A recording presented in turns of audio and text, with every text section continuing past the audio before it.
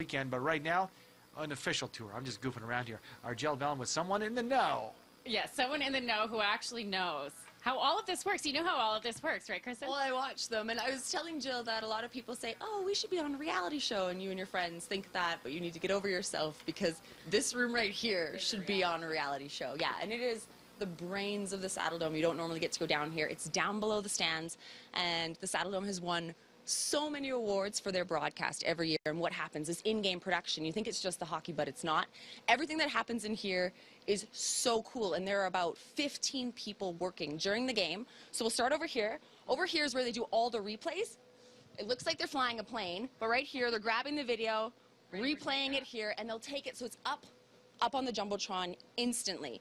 And if we go over here, this is what's so cool. And here's kind of a special little connection with Breakfast Television. Tammy Burka, who's your director, will come and direct the games with us. We're so lucky to have her. So she sits over in the director's chair. Cameraman Nick, you should go check that out because it looks like she's flying some 747 jet. and Tammy actually knows how all of that works. She is a beast. It scares me, yes. And then up on the screens, the cameras are always watching.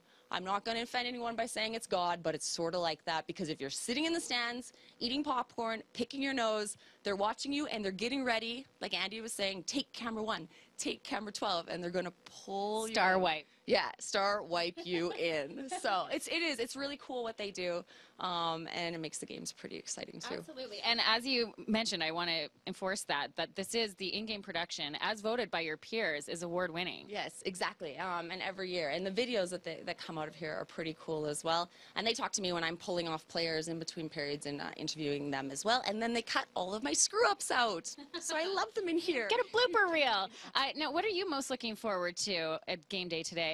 Um, there's going to be some special players to watch tonight. Um, some players that were on the bubble and maybe you thought wouldn't make the team. I'm sure you've heard about Johnny Gaudreau. He's uh, the smallest player on the team, but definitely has the biggest fight in him. And he's they call him Greasy. I remember Mike Cammalleri last year called him Greasy. You're going to want to watch him. He's very slippery. He's small, but uh, he made the final roster, so I'm so proud of him. Yeah. It'll be fun to watch him, and uh, they're just a really gr- good group of guys. Okay, good group of guys. You can cheer on the Flames tonight. It is time. We have these tickets to give away, two of them right here to the home opener, the Calgary Flames taking on the Vancouver Canucks.